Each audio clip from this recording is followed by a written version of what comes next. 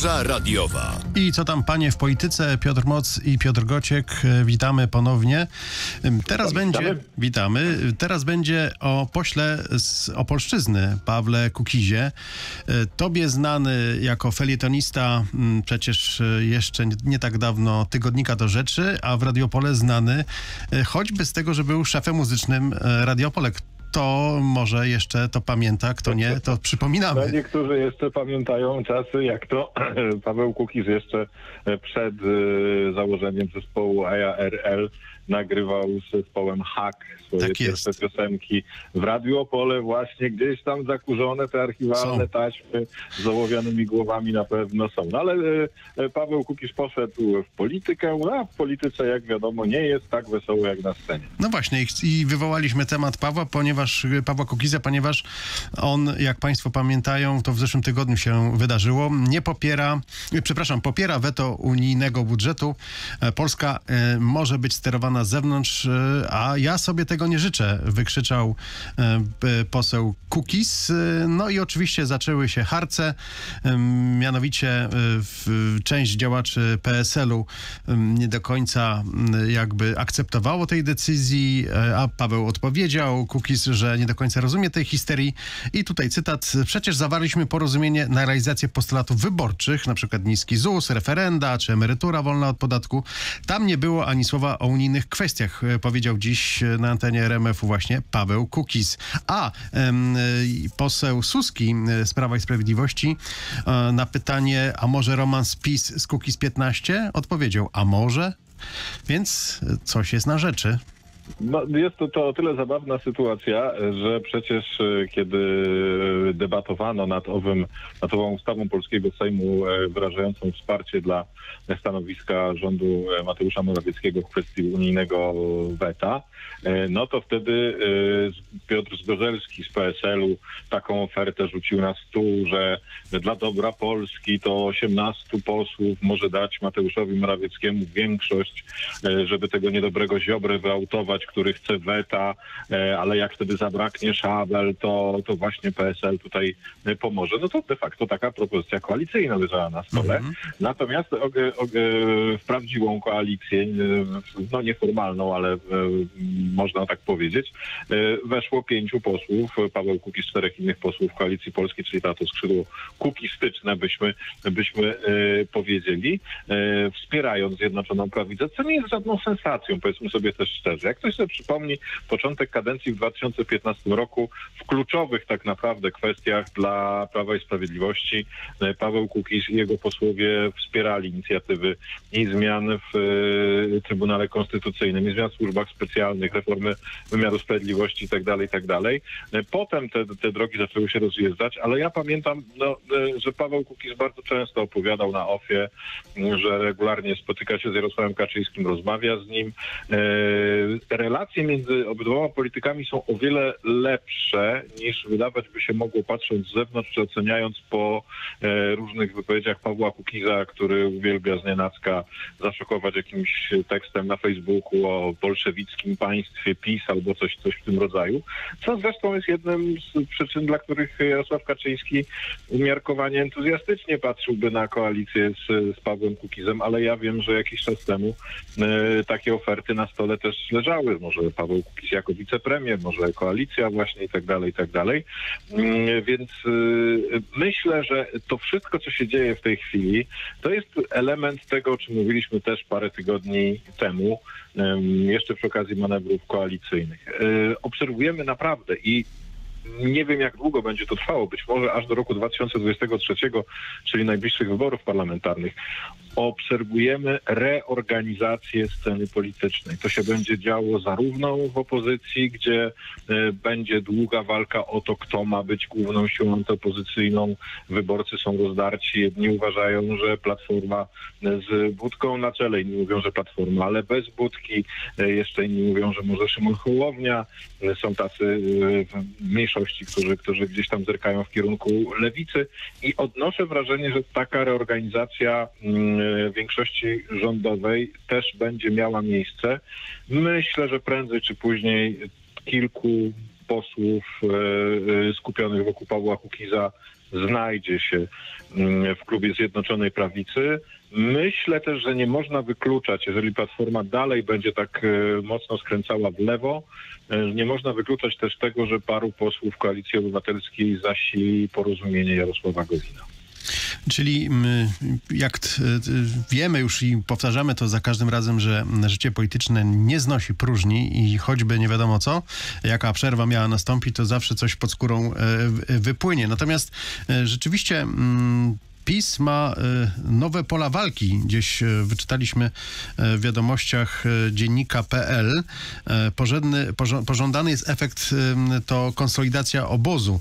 I tutaj publicysta tego artykułu sugeruje, że jakby jest przetasowanie także w tematach, y, które będą analizowane, będą przedmiotem debaty sejmowej, że na przykład piątka dla zwierząt w ogóle zejdzie na dalszy plan.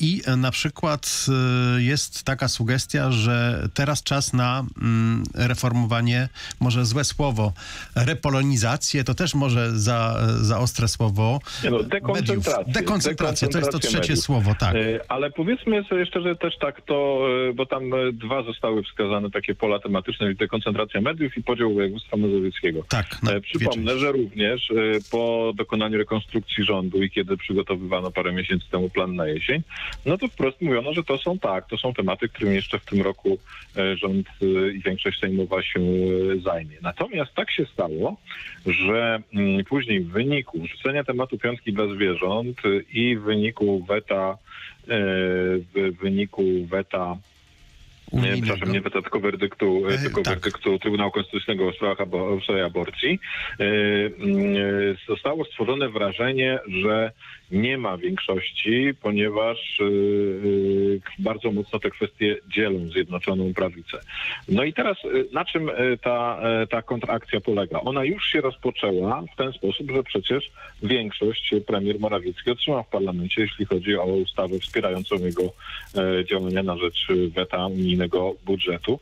I teraz wrzucenie e, przed końcem roku kolejnych takich tematów, co do których raczej nikt nie ma wpis wątpliwości tego, że taką e, większość się w parlamencie łatwo znajdzie, jest najlepszym sposobem pokazania wyborcom, że koalicja ma większość, że Mhm. sprawnie przegłosowuje kolejne inicjatywy, że, Jest skonsolidowana. że działa Tak. że jest skonsolidowana, tak, y, to jak to tam trzeba będzie bardzo uważnie patrzeć, jak, jak dokładnie ta większość będzie wyglądała, za którymi projektami opowiedzą się jeszcze y, jacy posłowie spoza e, Zjednoczonej Prawicy. Mówię, taka rekonfiguracja sceny, sceny politycznej trwa, natomiast to nie są żadne jakieś sensacyjne informacje, bo powtarzam, te projekty było, było e, już po zwycięstwie prezydenta Andrzeja Dudy ponownym, była mowa o tym, że to będą rzeczy, którymi jesienią się PiS będzie zajmował. Tak, to pamiętamy oczywiście.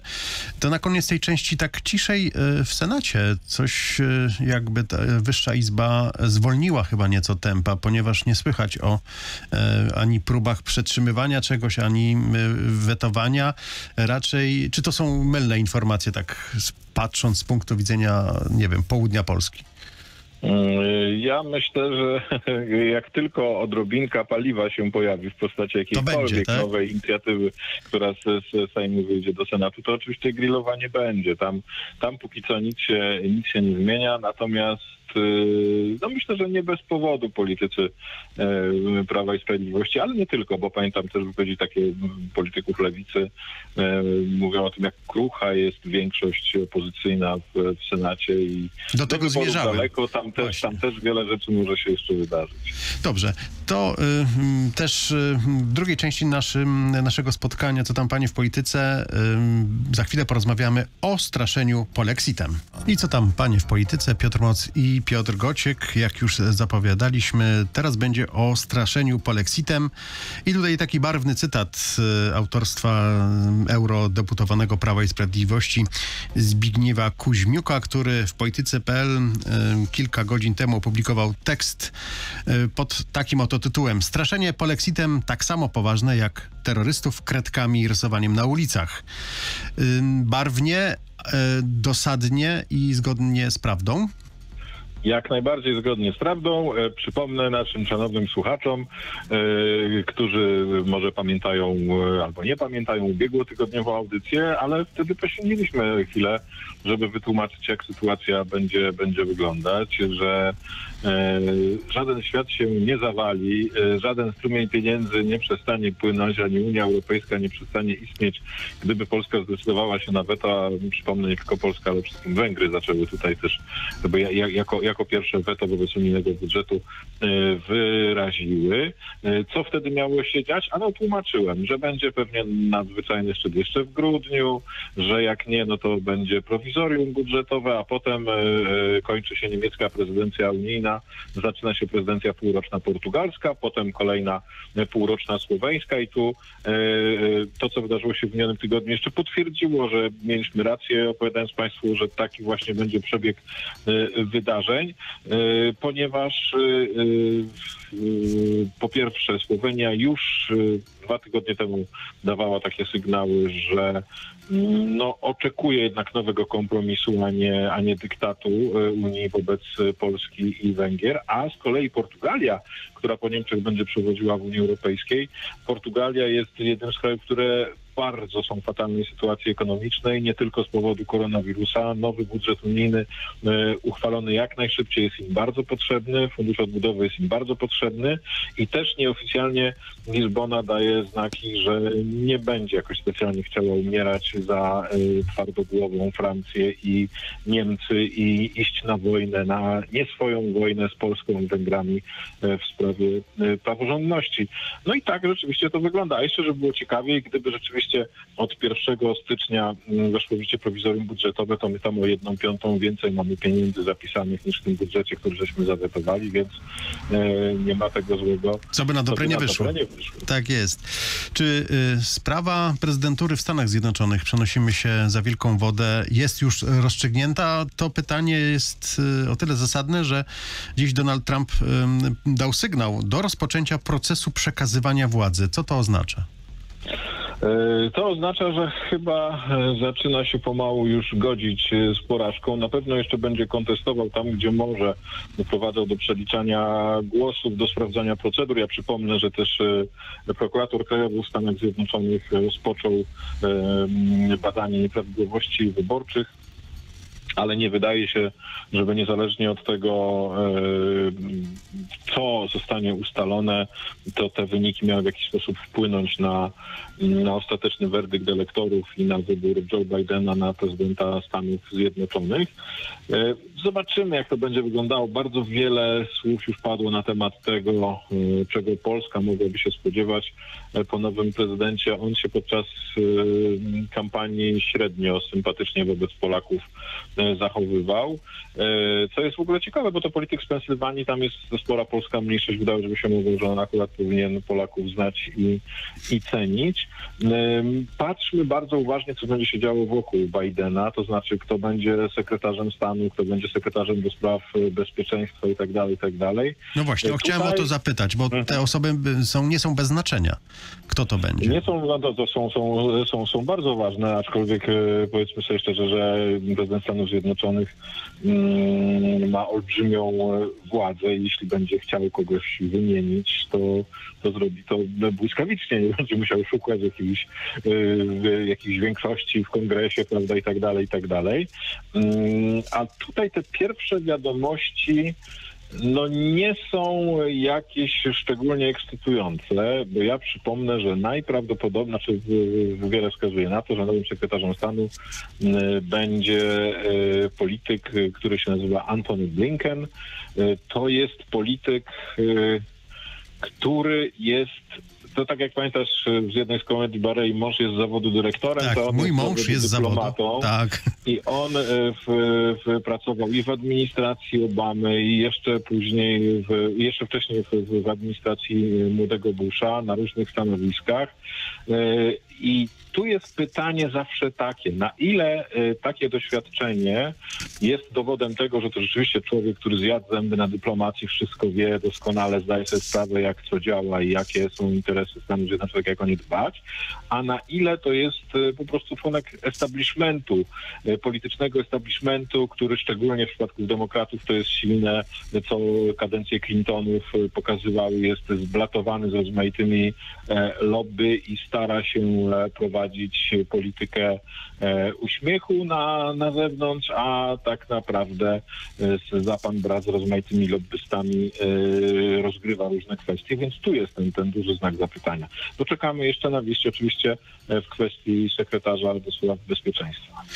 Tak a propos prezydentury w Stanach Zjednoczonych, y, łagodnie przechodzimy też do filmu, ale pretekst jest niebanalny, ponieważ y, y, łatwo było policzyć i zerknąć do historii. Mm, Królowa brytyjska Elżbieta II zatem spotka się z dwunastym już urzędującym prezydentem Stanów Zjednoczonych, bo przez 68 lat rządów tylu spotkała. A tymczasem powstaje y, kolejna część, kolejne części popularnego mm, serialu, który opowiada losy brytyjskiej, o, o losach brytyjskiej rodziny królewskiej. Taka ciekawostka, mm, może, mm, bo ja słabo znam ten serial, ale moja małżonka chętnie go ogląda, że w roli księżnej Diany zobaczymy e, Elizabeth Dębicki. mm, Ale to dopiero w kolejnych sezonach. Tak, na, razie, kolejnych sezonach. na razie zadebiutował sezon czwarty. E, Całość ma mieć sześć sezonów. E, To jest, ja się śmieję, że to jest taka ulubiona e, soap opera Brytyjczyków e, po tym, jak się Downtown Abbey Tak, zakończyło. tak. E, dokładnie. I ja myślę, że sporo, sporo jest e, racji w takim, w takim twierdzeniu. To jest taka e, ambitna soap opera, e, w dodatku o tyle ciekawa, że dotyczy najbardziej rozpoznawalnej rodziny na świecie. Choćby 200 Iwanek Trump stawało na głowie i nie wiem jak się starało, to i tak nie wzbudzą takiego zainteresowania prasy plotkarskiej, publiki na całym świecie jak brytyjska rodzina e, królewska. Ten czwarty sezon tutaj jeszcze mamy, przypomnę tą obsadę, która była i w poprzednim, czyli Olivia Colman jako Elżbieta II Mhm. e, przede wszystkim, e, a ta zmiana, o której ty mówisz, to będzie dopiero na piąty, szósty sezon, czyli w, tych- w tych przyszłych odcinkach. Bardzo ciekawy okres wchodzi ta opowieść, bo w czwartym sezonie wchodzimy w lata 80. E, Pojawia się premier Margaret Thatcher, w której to roli jest znakomita Gillian Anderson, znakomita i też Czy to jest, zderzenie- przepraszam, archiwum Mix, tak? Aktorka z... tak jest, Dokładnie. dokładnie. I, to, i, to, I to zderzenie granej przez Olivię Colman, Elżbiety II z, Ma- z, z Maggie Thatcher graną przez Gillian Anderson to jest jedna z piękniejszych rzeczy, które mamy w tym serialu. E, Ale mamy też wprowadzenie wątku księżnej Diany, przyszłej księżnej, no bo na, na razie zaczynamy od tego, że w pierwszym odcinku mamy tutaj księcia Karla romansującego z Sarą Spencer, potem e, dopiero on dopiero poznaje jej młodszą siostrę Dianę, tutaj Emma Corrin. I to jest o tyle ciekawa rzecz, że e, udało się, myślę, e, autorowi serialu, Peterowi Morganowi, bardzo ładnie spalansować dwie kwestie. To znaczy, owszem, pokazać, że Diana e, była ofiarą, ponieważ jej przyszły mąż no jest tutaj pokazany w czwartym sezonie już zdecydowanie jako postać bardzo ponura, jako, jako czarny charakter, ale z drugiej strony ten serial też pokazuje, że Diana była bardzo zręczną manipulatorką, że doskonale wiedziała, jak innych okręcać się wokół palca, doskonale wiedziała, jak wykorzystywać media, doskonale e, wiedziała, jak w tym współczesnym świecie e, blichtru e, i mediokracji się poruszać. I nawet spotkałem takie opinie w prasie brytyjskiej, że to jest chyba pierwsza opowieść filmowa, a trochę ich w końcu było i telewizyjnych, i kinowych, która oddaje w dużym stopniu prawdę o tej postaci. Czyli możemy powiedzieć o pewnego rodzaju odbrązawianiu e, księżnej Diany, e, która... No na pewno tak, na pewno tak, co oczywiście nie zmienia faktu, że y, opowieści o tym, jak się nacierpiała, bynajmniej nie były przesadzane. Piotr Gociek e, był gościem Loży Radiowej, wtorkowej Loży Radiowej. E, Piotr Moc e, rozmawiał z Piotrem Goćkiem. Bardzo ja nazywam się Janusz Prochara, rozmawiam z Piotrem Mocem. Tak to się układa, proszę Państwa. I słyszymy Tak się w grudniu. Żeśmy sobie rozmawiali. wtorek, Pięknie tak. dziękujemy. Dziękujemy. Dziękujemy również. Do usłyszenia.